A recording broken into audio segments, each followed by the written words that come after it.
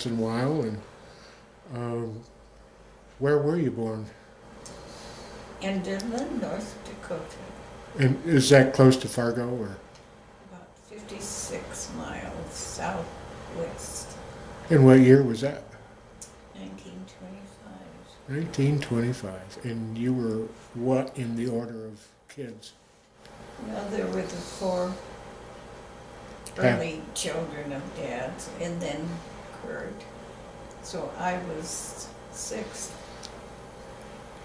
And name your brothers and sisters.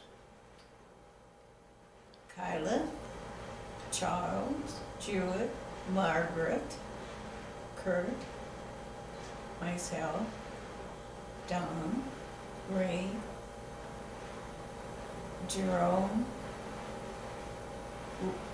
uh, Willie, Barbara, and Gail. I think I got them. Yep. I think- now, uh, did uh, what was your father's name? Joseph, And his first wife's name was. I'm sorry, But he had, and she died. Is that? she died. And those were the first four that you named. Right. And then your mother's name was, Lillian Johnson. And uh, her folks came from Norway, or Um, her grandparents, but um, Grandpa Johnson came from Norway. okay, okay. And your, what was your father's parents' names? Do you remember? No, um, we have a Hopperstad book. I don't know how many of you kids have one. Do you have one? Yeah, I do. Yeah, well, they're all, all the names are listed in there. How long were you in Enderlin? Um, I left when I was in the eighth grade. I started high school. What did Grandpa Hopperstad do there? With Grandpa was a your dad? contractor and a carpenter. hmm And I understand that he built much of the city of Enderlin. Um, Margaret has written a lovely tribute to him, and I gave that to Gary um, as part of the history. And uh, your mother Lillian was a housewife all this time. Yeah. Mhm. And you, Didn't have time for anything. Okay. other and yeah. And so you went first through eighth grade at Enderlin, Yeah. and then where did you guys move? um, outside of Hardin, Montana, close to St. Xavier, and I went to school in St. Xavier. Why the move? Because Dad had skin cancer. Part of his lip was eaten, and um, several places because he was out in the sun all the time. And uh, Dr. Lavitt, who was his doctor in Enderlin, had moved to the Montana area and rented a lot of Indian lands. And he wrote Dad and said if he would come and manage the properties, he would treat his cancer. Wow. That was a well paid, you know, that expensive stuff. And so, what did you do there? You went to high school there.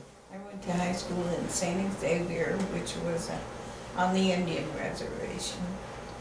But it was a new school for the white kids, and the Indian kids had their own school. But some of them attended ours if they wanted to pursue certain things or, Yeah.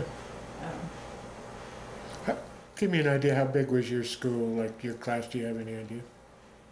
Oh, it was quite small. Um, some of the classes might be fifteen or twenty, but That's nice. How'd you do? How were your grades? very good. I took a lot of subjects because I had extra time and, um, oh, and Mr. Wills, the principal of the school, we had a good relationship because he was familiar with Enderlin. Oh, what a small world. Yeah, and he had uh, been sponsored by a doctor in Enderlin.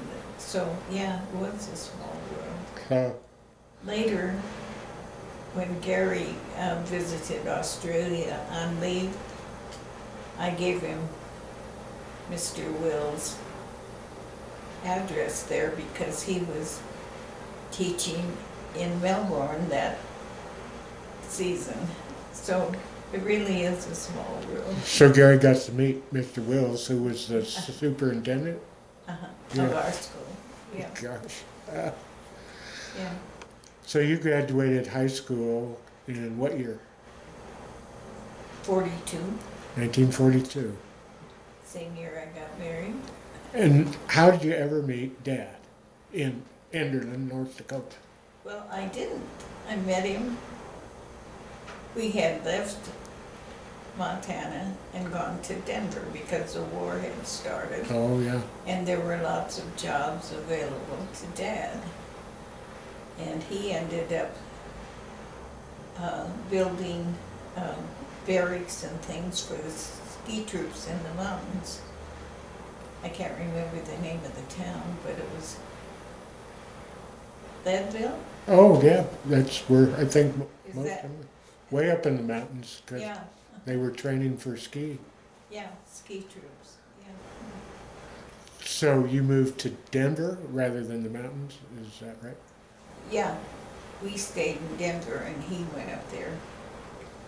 He took um, a bus up and got to come home a Weekends. weekend occasionally, not every Wow. weekend. Uh, and so that's you met Dad in Denver. Yes, he was um, at Lowry Air, Air Force. Mm. Mhm. Where'd you meet at a bar? Yeah, you know that. Um, No, there was a photographer out at Lowry that lived across the alley from us with his wife, and uh, that's how we met. Whereabouts in Denver did you live? Sixteen seventeen Franklin Street. 1617 Franklin. Wow. Boy, has it changed. Yep. It, uh, for a time, went through kind of a downward spiral, and now it's one of the in places in Denver. You know that. A little further east than that. It, yeah. Because we used to see the Douds, you know, Mamie Doud Eisenhower. Uh huh. We would see their electric car come down 17th Street. Really. really? Never Gosh. saw her in Yeah. person. They had electric cars then.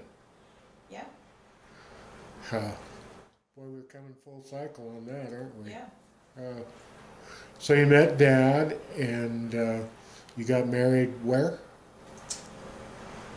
At the Trinity Methodist Church in downtown Denver.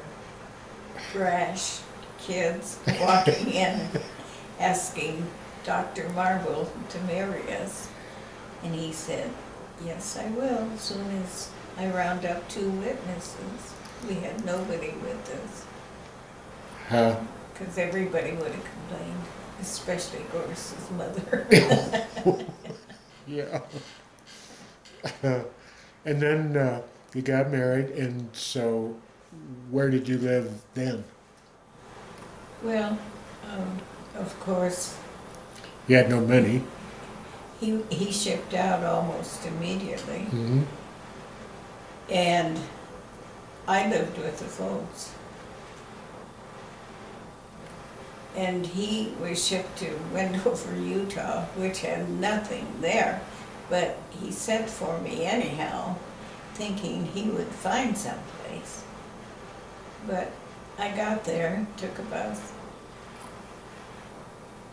and the hotel was full, and there weren't any houses, you know, just In Wendover. yeah, at that time. And uh, so I went back to Salt Lake, got a hotel room for fourteen dollars a week, Fourteen dollars a week. That was exorbitant. which they let me have without any money. I got a job immediately because it was a Christmas season. Got a job Where? at Grant's store. And, and this was where? downtown Salt Lake City. And I walked to work, past the Mormon temple and everything, so it was a beautiful walk. And how long were you there? Just a few weeks, and he was shipped to uh, Iowa. And his mother had come to visit, and she took me under her wing and got us both tickets. And we went to Iowa. Whereabouts in Iowa? Sioux City, I think it was, because it was right across the border from Nebraska. Uh-huh. And uh, she went to visit her daughter in Nebraska. And I stayed in Sioux City and got a job in a restaurant. As a waitress? Or? And I was the worst ever. I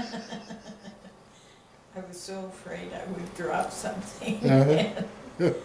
I never did it again. Uh-huh. How long were you there? Oh, just a few weeks, I think, and he was transferred to Kearney, Nebraska. And I went there. And, um, Now that's close to Omaha. no, it's, um, in western Oh, okay. Nebraska, yeah. And we got, um, basement apartment. I can't remember what it cost. I think it was around thirty dollars A month. What did he make as a uh, private? I don't remember. I remember my allotment when it caught up with me was eighty dollars a month. Well, that wasn't too bad at that time. Right.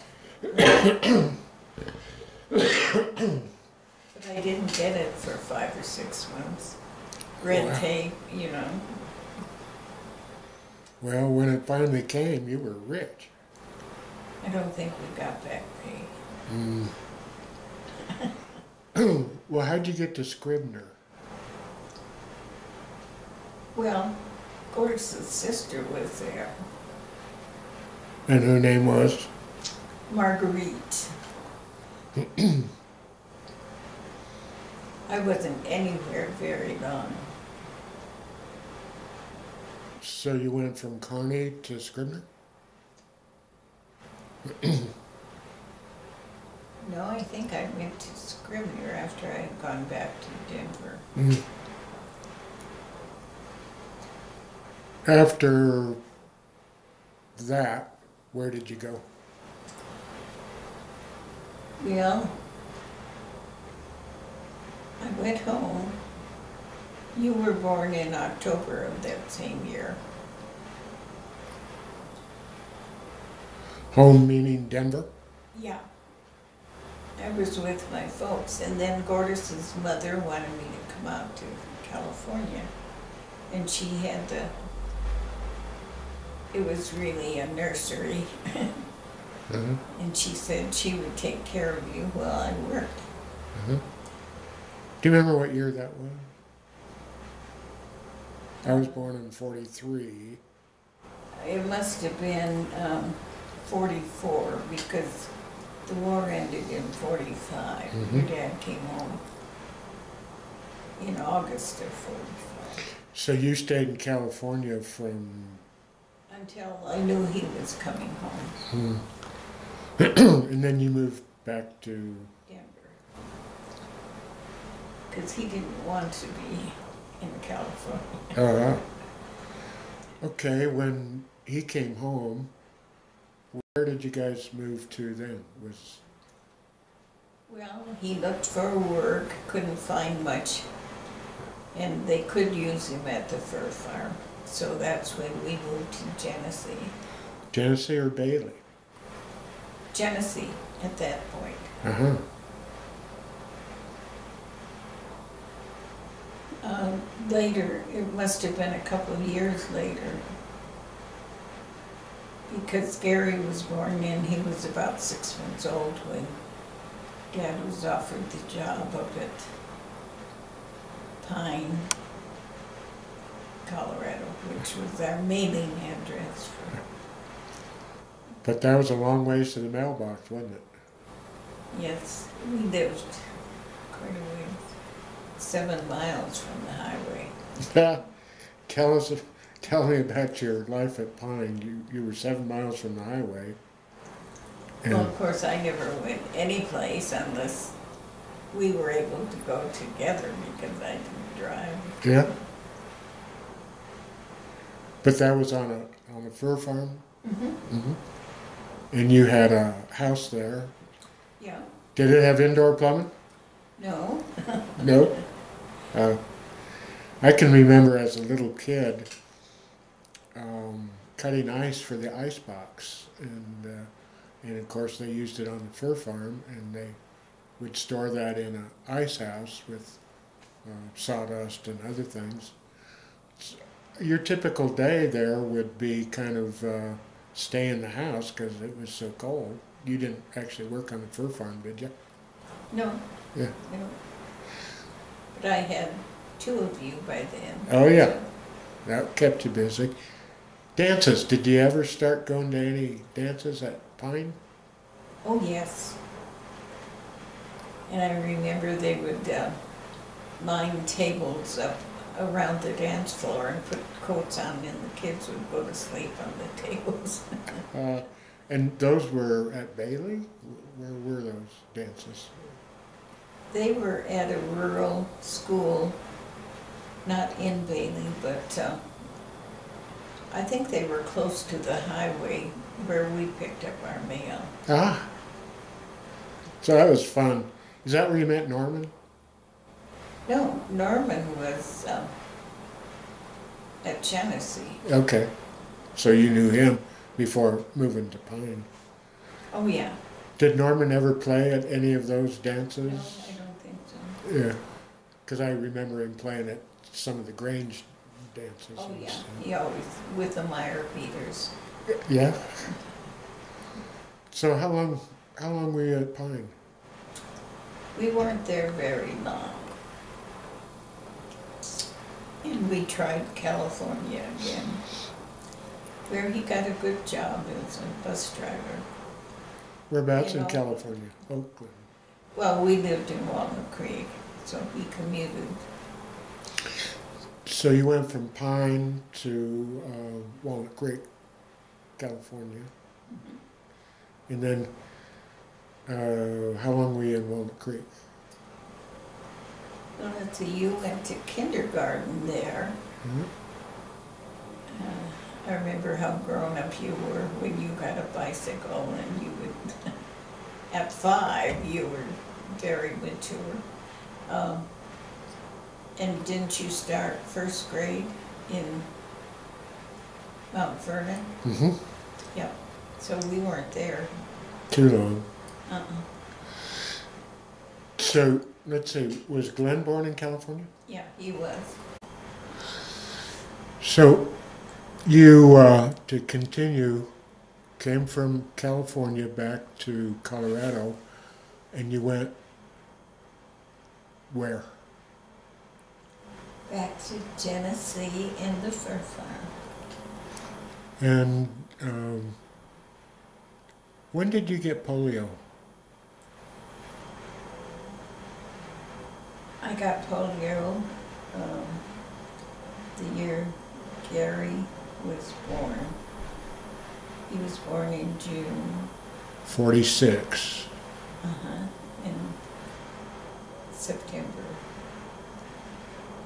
Huh. the first part of September of forty-six. And you were at Genesee. That was the first time. Yeah. When was Glenn born? He was born 1950. Is that right? Yeah, we were in California then, but this was, uh, earlier, So you came back to Genesee with three little kids. Is that right? right? And uh, you moved into a house there, or Yeah, we had a house, but there we had an outdoor toilet. you had indoor plumbing, but it wasn't hooked up to anything. Is that right? We had water, But no plumbing for the bathrooms. right? Uh-huh. Well, that was an adventure with three kids. Yeah, you were well trained though. Except we had steps going down to the outdoor toilet. So in the winter, we had, what did we call the potty? And, um, cause you couldn't step out into, you know how the snow would come at night. So it'd be pretty deep for going barefoot to the potty. Yes. But we made it. Did you have uh, telephone? No, not then. Uh-uh. Uh, television? No, we didn't get television until we went into the store. Yep. Let's see, how, how long, did you stay in that same house the whole time at Genesee? No, briefly, we got to stay in the nicest house on the place, but when they hired a manager, we were relegated to this one. Yeah, But it, the facilities weren't hooked up in that one either. uh, so you camped out for quite a, quite a period of time. Yeah. And uh, at the fur farm, you say, what, uh, what went on at the fur farm? A lot of people don't know about fur farms. I know, and they aren't popular now with the environmentalists. No, I guess not. They wouldn't be. Yeah, I think, I don't think they have anymore because the environment. Mostly Russia. Yeah, they were letting the animals loose and all kinds of stuff. Yeah. Um, But basically, what what was raised on the fur farm? Well, your dad was in the fox unit. And the hens were like tiered. Uh-huh. But he was very young and athletic, and he would trot, feeding them. And uh, For a time, didn't he use a horse and wagon? They might have, I can remember driving uh, the wagon around, and he'd throw that fox food over the outdoor pens. probably, Yeah. yeah. Then uh, after the fur farm, where did you go? Well, can you stop? Yeah. After the fur farm taken up, um, what did you do? Well, we bought the store. We had a vote, What store was that? the Pioneer Store on Highway 40, a gas station, and a few food supplies, and then apartments. What do you mean you had a vote? You said you had a vote. Yes, we had a vote. I was against it because of having three little boys. And your dad insisted on a vote. Well, all the little boys remembered was the big candy cane. So you got outvoted four to one. Yes, I did. What year was that that you bought the store? I don't That remember. must have been 51, 1951, because Glenn was a year and a half when we went. Huh. And the name of the store was the Pioneer Store, is that right? Mm-hmm. And so at the Pioneer Store, did you have fun there? Was it, did it work out? I thought it was lots of fun. Um, we didn't make much money, but we ate, even though we ate old stuff a lot. Stuff that labels weren't on from kids tearing them off? But um, Dad made some extra money changing tires. He changed a lot of tires. Yeah, because uh, the markup wasn't very much on anything, because, to be competitive. yeah, Yeah. So you sold gas? gas and oil, and he, he sold a few tires, which was a good profit. Huh. But mostly, he made most of his extra money changing tires. While at the store, you had Thursdays off, as I remember it. And so Thursdays were spent, Well, usually, your dad would go into town for supplies, and I stayed home and cleaned and got ready for another week. yeah. But while at the store, if I remember, we horseback rode and, Yeah, because he could get away during the afternoon, or I could. yeah. So we would uh, go for a ride and uh, if we weren't playing baseball or softball or, and did you participate in that? Well, I tried to go to the games. Yeah. Three boys, three different games. well, that was fun. Business wasn't too great. It was slow during the day. Yeah, yeah. It's when people came home from work in Denver that they would stop and get milk or gas or Pick up their paper. Or, cigarettes. how much were cigarettes then? Uh, regulars were a dollar seventy-eight a carton, and, uh, what did you call the long ones? Oh yeah, um, Uh, They were a dollar ninety-nine a carton. a carton, That made them 19 cents, 20 cents for nineteen cents for the regulars. my word. How much was gasoline? Um, I remember twenty-nine for regular and thirty-one for,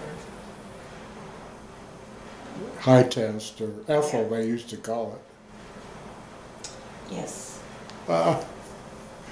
Can you imagine that now? That's why people got by on such low wages. So did you rent the store? How did We that work? rented it and we didn't have a lease. Yeah. Well, who owned it? Grandpa Ralston, Lucian Ralston.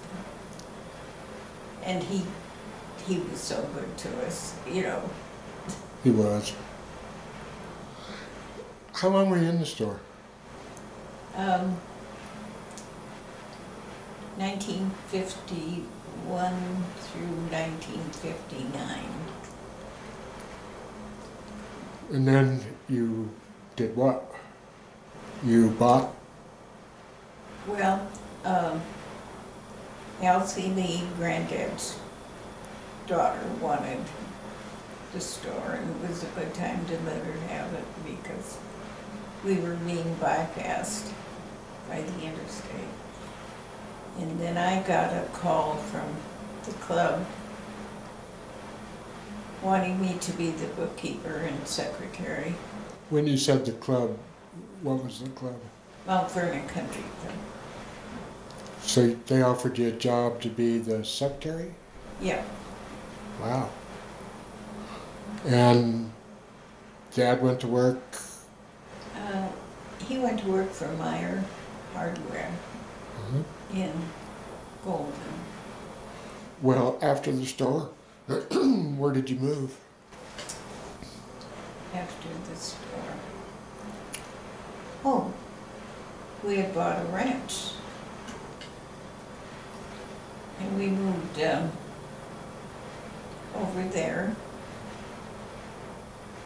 And Dad finally got a, well, he worked at several different places, and I worked to make the payments on the ranch.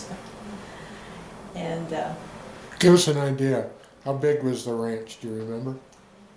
Yeah, it was um, 252 acres. And what did you pay for it? Oh, I can't remember. Was it thirty-two thousand? That sounds about right. But I really don't remember. But we got it cheap. Where was it? It was on, um, I called it Sweet Gulch, but it, they called the one next to it Sweet Gulch. Um, But basically, it was the Evergreen area. Well, it Not was, uh, really. It was close to the intersection to Evergreen. It was, you know, where the old rancho was. What else was there at that intersection? The teepees. Yeah. And the roll-offs lived behind the teepees. That area's sure grown. The teepees aren't there anymore. I know. Uh, The old rancho still is. oh yeah, yeah, it still is. Mhm. And then you were there for a number of years. Let's see, you started selling portions of it. Yeah, well, first we, um, gave you kids each ten acres. And then, um, we sold off some of the property. And I think we had hundred and sixty left that we sold in one piece. And then you sold that and you quit your job or? I quit my job in nineteen sixty-four, I think. And, uh 'cause cause we were selling property and I got pregnant. And, um, Along came who? Gina Deanne, And what year was that? nineteen sixty-five. And Dad was working where? He was working at Coors Brewery. So after you sold the ranch, you moved to, Baker City. Weren't you in Riverton for a while? Oh, we were in Riverton when he was working for Coors. Yeah. And then uh, after you sold the place, you moved here to Baker City. What year was that? Uh, 1971, I think. 1971. Uh, so you've been here since 1971. That's a long time. Longer than in Colorado or anywhere. Yeah. So when you first came to Baker City, where did you move to? We moved out on Pine Creek. Did you buy just a house out there, or was it? No, we bought 245 acres.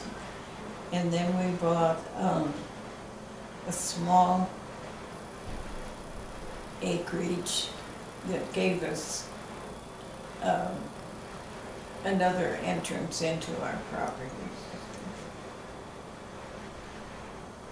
I can't remember how many, 10 or so. Well, a nice place, huh? Yeah. And what did you do out there? You- Oh, we had some cattle and some horses and So Gina went to school um, at Haines or? No, she started school in Baker and finished in Baker. Mhm. What was life like up there? Did it snow? Were you in the snow belt? Yes, definitely we're in the snow. Belt. the first year was particularly bad. And uh, when a place came available halfway down the road where it didn't snow so much, we snapped it up. And that was on a small acreage then? Yes, just eight. And uh, I liked it because it had two bathrooms. With indoor plumbing? Yes, What, then did you sell your other place or a portion we, of it? we sold, uh, I think, several parcels because at that time they couldn't subdivide. Mhm. And then, um,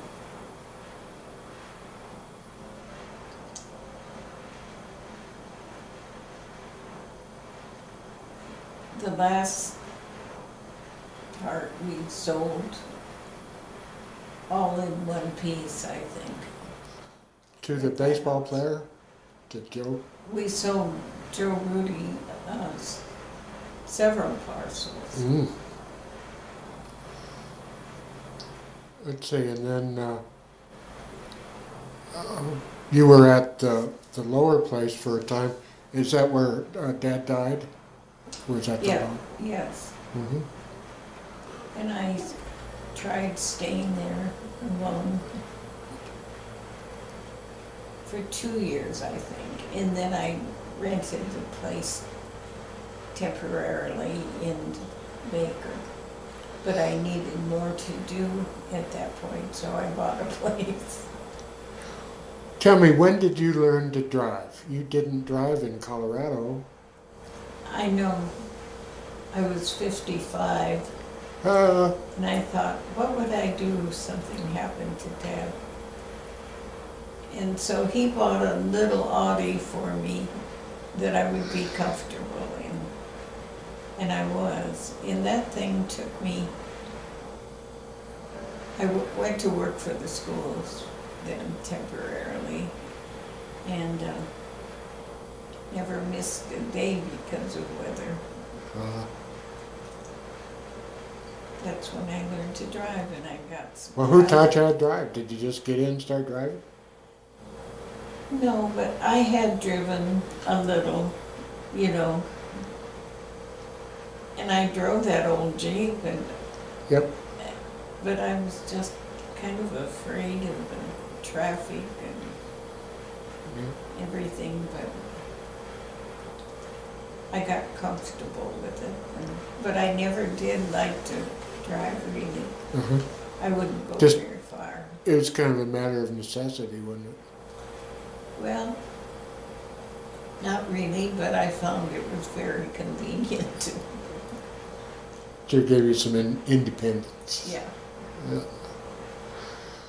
Well, and then, uh, so with that thought, we're going to talk a little bit about a day or two or more in the life of a young girl growing up in North Dakota. Like, you got up in the morning and you did what? Well, I was on the second floor, had a bedroom, and the bathroom was there, so I started in the bathroom to get ready for school. Got dressed and cleaned up and brushed my teeth and went downstairs and had breakfast. Always had a pot of oatmeal on the wood stove. And I always, there was something about a warm bowl of oatmeal in the morning that, was, especially in the winter, that was so satisfying. How cold would it get? Well, Did you have a thermometer? oh yeah, the typical high was a forty below. Ah! And we didn't notice it that much, but I would wear snow pants over because we always wore dresses. And I had to wear those ugly black stockings and I had to fold them over in the back. I can't remember how I kept them straight. But it was darn cold and I only had two blocks, two and a half to walk to school, but you knew it was cold. But we, um, we loved this snow. I remember the boys making snow caves on the side of a hill. And they would last all winter. Jeez. And the snow banks on the, next to the house. And, uh, they always banked the house with snow and it helped keep the heat in. Yeah. And, uh, we had a cold furnace and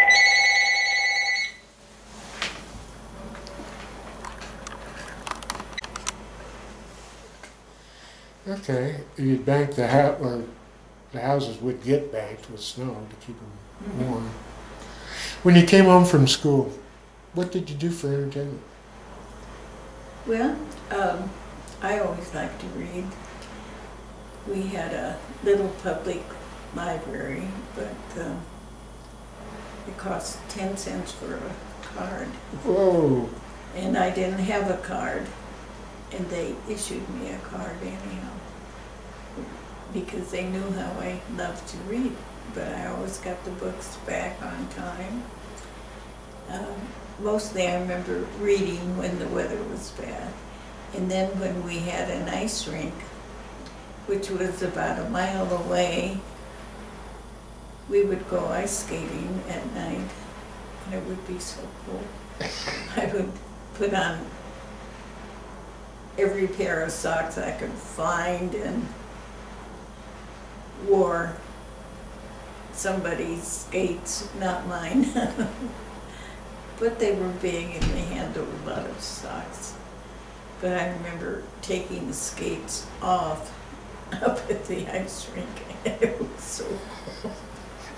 But it was fun while you were skating.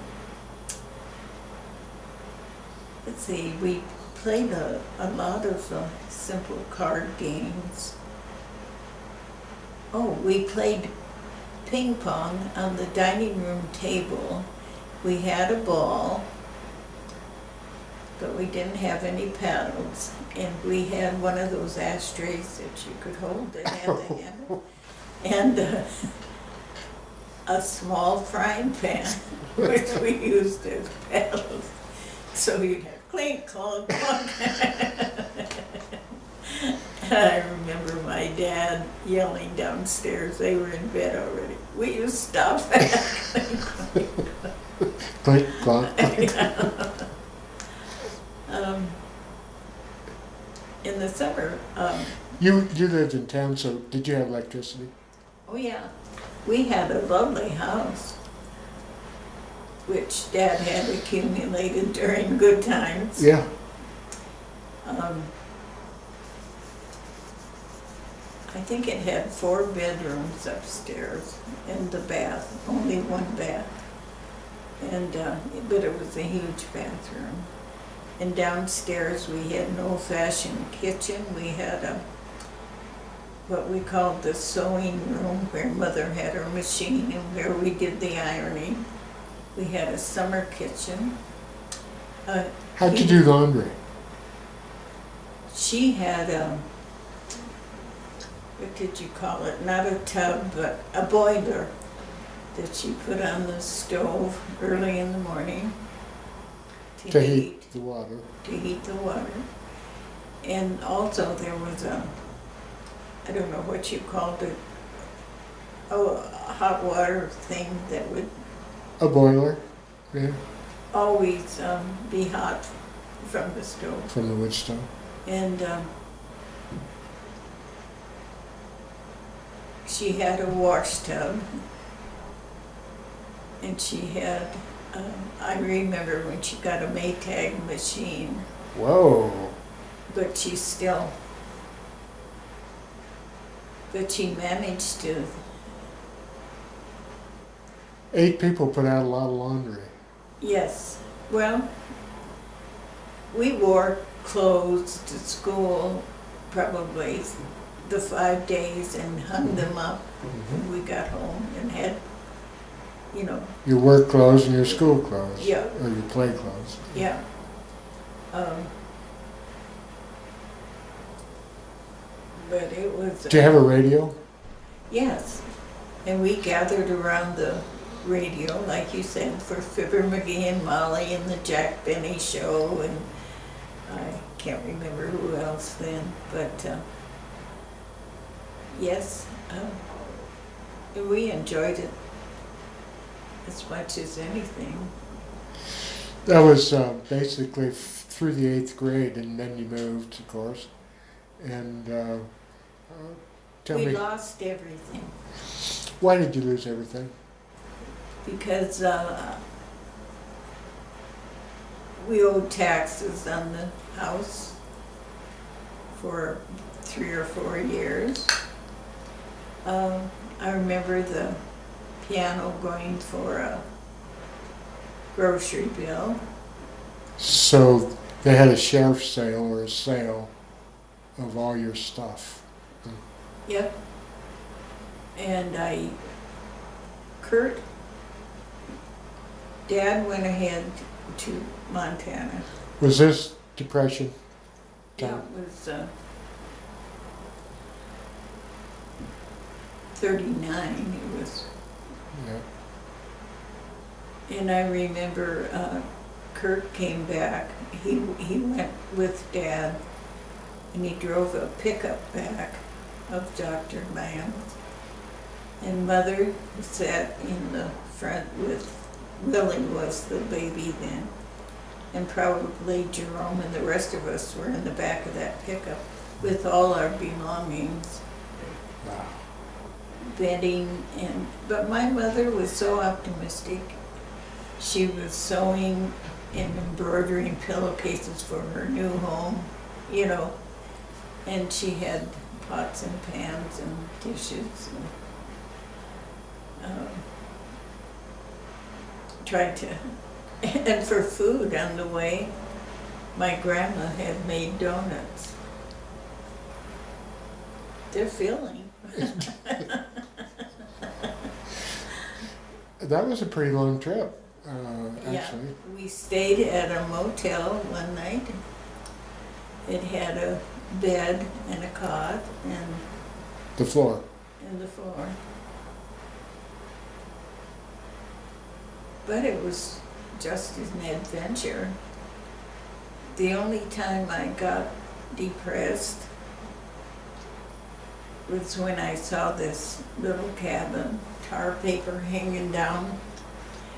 Um, it was two huge rooms. Uh, This was your new home in that was our Montana? new home. And, um, Dad couldn't work on the house at first because he was building bins for the sharecroppers stuff they brought. And It was, it was depressing. My bed was a cot in the kitchen because I was the only girl. Uh, And all the boys bunked and, uh, Yeah, uh, I think there were four boys, and um, they had a curtain up between because the rooms were huge, you know, kind of like that. uh-huh. But my dad built a table and benches. And Dr. Babbitt must have had some beds he provided.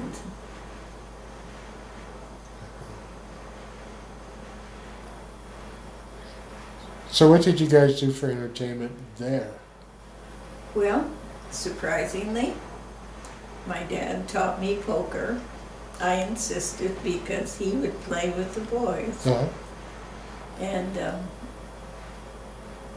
I still would bring books home from the library in school, and there was always homework, homework by lamplight. so you didn't have electricity We didn't in- at first. We did not have electricity. The bathroom was an outhouse, of course, and it had just a piece of canvas for a door. Bet that got chilly. Not very private. Well, yeah, there wasn't anyone around Yeah. that faced the river. Um, But eventually Dad built on a kitchen and living room. And electricity came, but we didn't have a telephone or anything. What did you do for water? Did you have a pump? Well, that was sad. Um, we had irrigation water only, which they boiled the first summer. I was so sick all summer. And it must have been from the water. And um, we would boil it. It was fine for coffee. But I remember just trying to drink some water and it was like sand sifting through. Oh, no. It was uh, bad times. Well, in retrospect, was it? Well, I never really minded it because I belonged to a 4-H club and I was cheerleader and, uh, but always depended on somebody else for transportation. And we had dances at the school and that was fun and, um, So it wasn't a poor me. You still stayed active, uh, and the Oh. boys stayed Oh, yeah. And we would do things like, uh, for entertainment, we would, um, do that, throw the ball at the milk cartons. They have, only we would, um, stack up rocks and throw rocks. I mean, we always could come up with something. I wondered how come you had such a good arm. No, we kept busy all the time. Did you know you were poor? Never, because there were so many in the same boat. Yeah. I never felt poor. I remember my, for Christmas, my grandma always gave us um, tablet and pencil. And that was a big thing to get a new tablet and Yeah. And I bet it was an Indian chief on the front. Yes, it was, it was indeed. Um, And my mother always had a tree, no matter where we were. Uh-huh. Uh, And before we moved to uh, Montana, um, we went to the Lutheran church, and they always gave us a sack of that awful Christmas candy. and that hard? an orange in it. Yeah. now that was a big deal. that was a big deal. Yeah. No, I never felt poor. Never. You, we were pretty poor, you know. we're pretty poor. But people, you know, even in the club, they were so nice to us. Well, and your your dad was working, and so many Oh, of you yeah. weren't working. He wouldn't um, join the WPA because it was Government. government, and um, he would make um,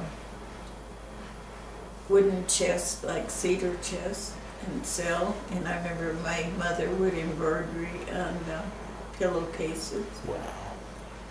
to And it didn't take a lot to get something to eat, you know, that's why their taxes weren't paid and other things. Yeah.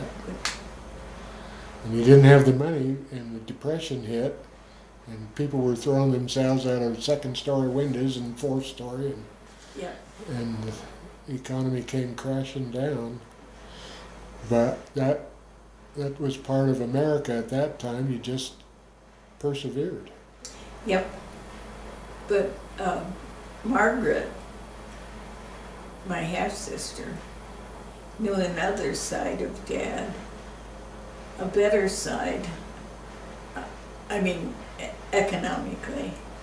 He bought a farm he, that he rented out and he had, you know, lots of money Yep. and built this beautiful house at the time. That you lived in until eighth grade, basically. Yeah. And one thing, getting back to that house that I dearly love, it had a closed-in front porch, huge, clear across, and it was divided in half. And one uh, had the furniture, typical um, porch furniture. And uh, the other side, and had glass windows in the door um, they had a bed so that anybody that was uncomfortable, because the upstairs got pretty hot, could come down and sleep and they had windows all around there. Well, It was, it was nice. it sounds like it. Mhm.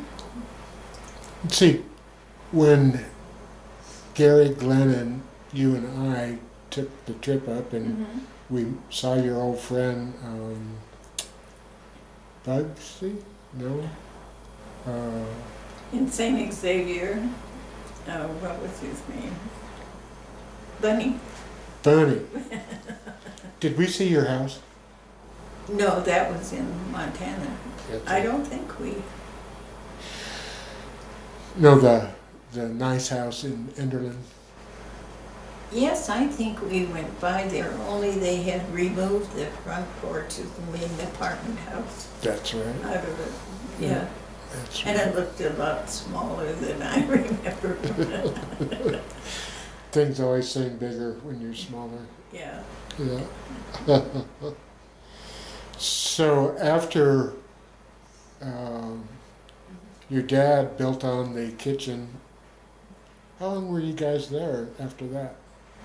Not very long, was it?